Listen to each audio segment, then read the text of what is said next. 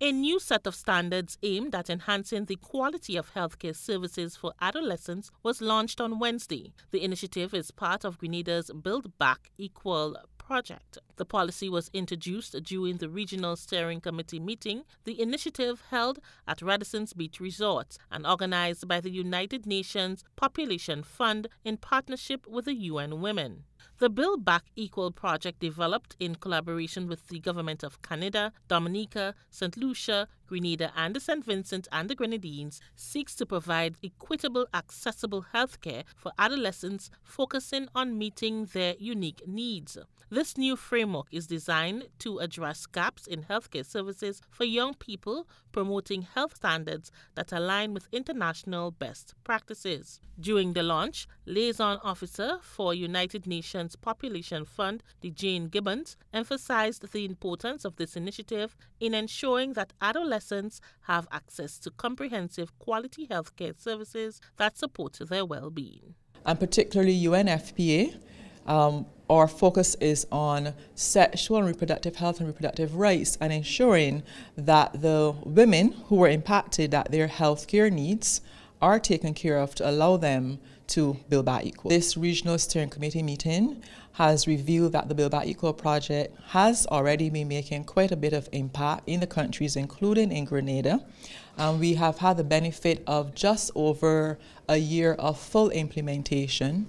And we have seen where we were able to have policies and frameworks developed and approved at country level. For UNFP in particular, we are very pleased that yesterday we were able to launch the standards for healthcare for adolescents in Grenada.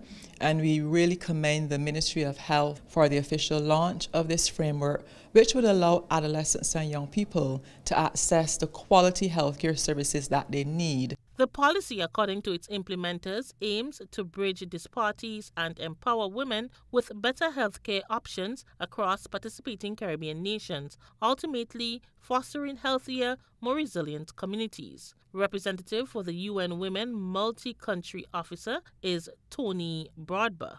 Many of our families are single headed households, and those that are not, women still have a very significant say in what happens in the household.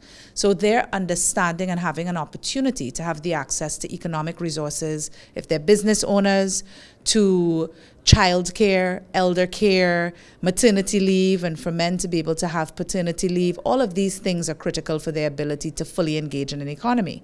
The project focuses on that ending violence against women and girls, and integrated referral pathways. So you know not only how to get out of the situation, but how to thrive afterwards. Nadine Williams, program manager for the Ministry of Social Development in Carriacou, outlined how the Sister Isle benefited from the project post Beryl. So this project has started as an effort to correct certain systematic challenges as well as looking into how we actually provide the assistance that we do, looking at policies, looking at legislations, looking at you know a holistic view as to how do we support our women. So for us, the BBE project has come in a timely fashion.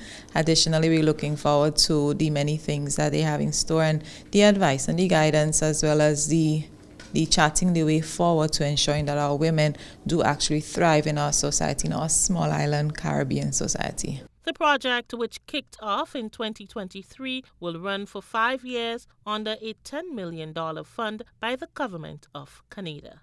Rena P. Thomas, GBN News.